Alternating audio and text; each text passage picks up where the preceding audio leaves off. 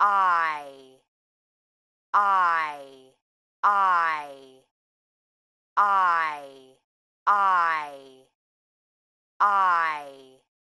Chúng ta có biết chúng ta vừa nghe nguyên âm gì đó không ạ? Đó chính là nguyên âm đôi I. I. I. I. Vậy chúng ta cùng đến bài học phát âm số 18 nhé. Cách phát âm âm này như sau. Khi phát âm nguyên âm đôi I thì âm này bắt đầu bằng một nguyên âm A ở giữa lưỡi và đến chữ Y, thì lưỡi sẽ hơi nâng một chút. Khi phát âm R, miệng mở rộng, đến Y, thì miệng hẹp dần. I I I. I. Chúng ta cùng luyện tập nhé. Light. Light. Sight. Sight. Island. Island. Island. Psyche. Psyche.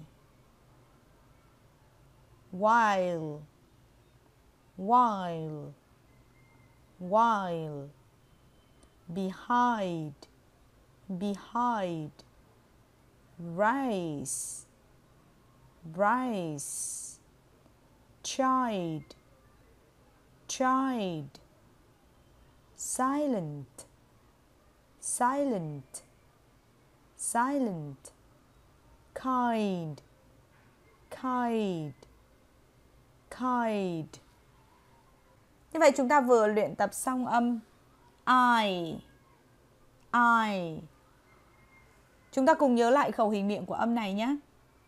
Âm R được bắt đầu từ giữa lưỡi với miệng mở rộng. Đến i thì lưỡi hơi nâng lên và miệng thì hẹp dần. I I I I Vậy chúng ta cùng luyện tập chăm chỉ để có cách phát âm ngày càng tốt hơn nhé. Xin kính chào và hẹn gặp lại quý vị và các bạn trong những bài học sau. Cảm ơn quý vị và các bạn đã chú ý theo dõi. Mm-hmm.